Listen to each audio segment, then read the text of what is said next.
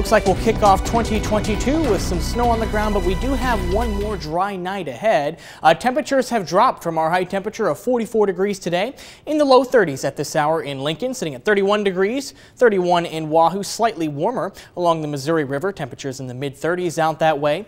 34 degrees in Beatrice, 30 in Hebron. We do have one location, Kearney, uh, in the upper 20s at this hour. Their temperature 28 degrees.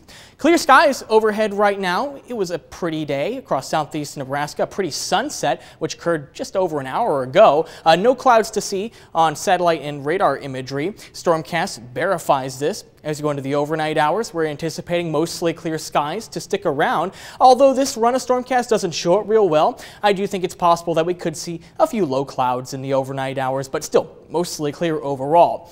When the clouds do arrive, uh, yeah, that's tomorrow afternoon, and they'll continue to increase throughout the afternoon, especially in the evening. Mostly cloudy skies late tomorrow afternoon, and especially in the evening hours. We see that on Stormcast here. All of Nebraska by 8 o'clock covered with clouds, even some snow starting to start uh, in the western part of the state moving eastward as we head towards midnight, uh, approaching the Tri-Cities around that time. I think as we're ringing in the new year, uh, we probably won't be seeing snow in Lincoln. It'll probably be after midnight, but as we get towards the wee hours of the morning and especially early Saturday morning, that's when the snow will start to fall, and it could be rather heavy at times, especially south of Interstate 80. We could be looking at snowfall rates to, uh, Saturday morning in the ballpark of one inch or, or slightly higher per hour.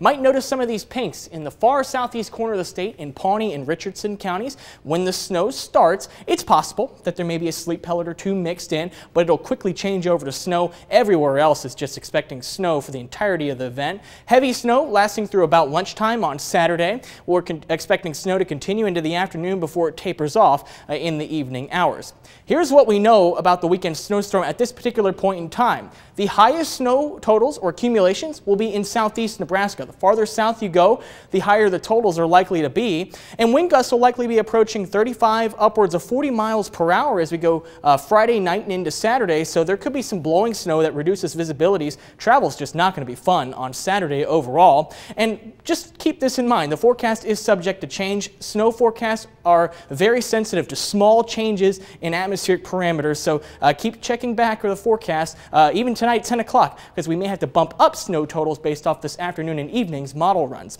Here's what we're thinking right now, two to five inches in this light blue colored area right here. But again, the farther south and east you go, the greater the snow totals, perhaps five to eight inches down towards Beatrice, Fairbury, and Hebron. Stay tuned for 10 o'clock tonight as I will have an updated snow accumulation map.